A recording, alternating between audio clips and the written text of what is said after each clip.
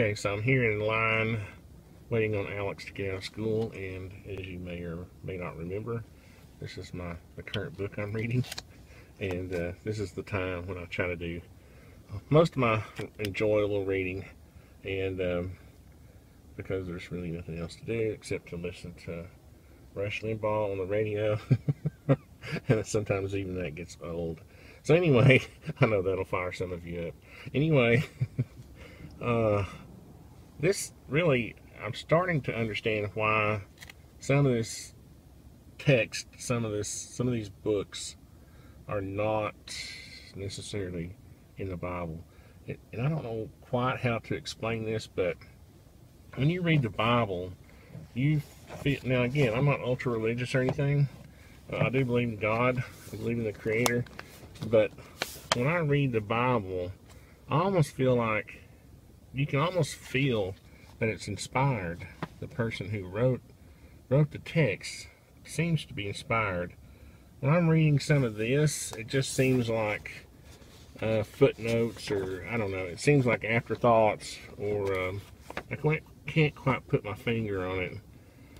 So I don't know. Like this, for example, this um, chapter 29 of Acts that was the theory here is by these people is that where is it that the book of let's see the book of James and the Acts of the Apostles are the only two New Testament books that that do not end in Amen. In other words, apparently that was a you know a pretty typical way to end.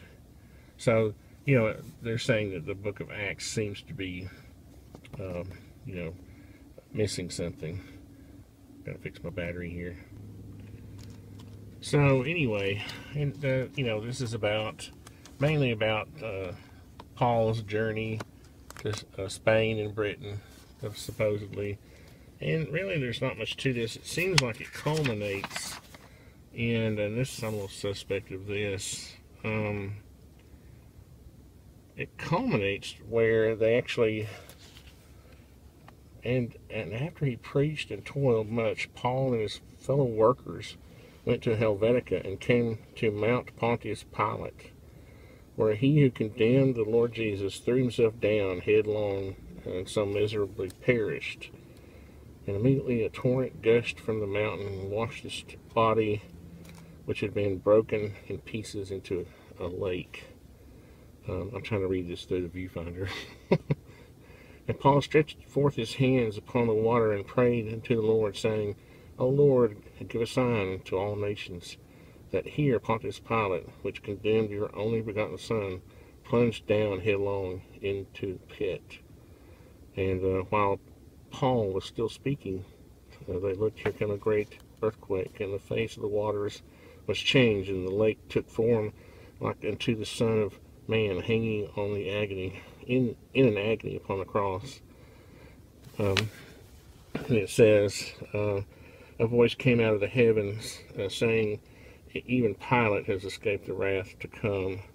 Um, so, I mean, that seems to be the, that seems to be the whole message.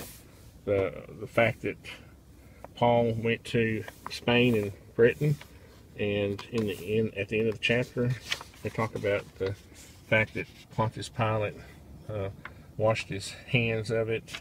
I don't know if the whole point of the of the 29th chapter was to sort of redeem Pontius Pilate or what. But um, after that, it basically says, And they went forth and came into um, this city, uh, intending to go by Macedonia into Asia. And uh, grace was found in all of the churches, and they prospered and had peace. Amen. So they finally get their amen. but anyway, this I didn't really mean for this video to be this long.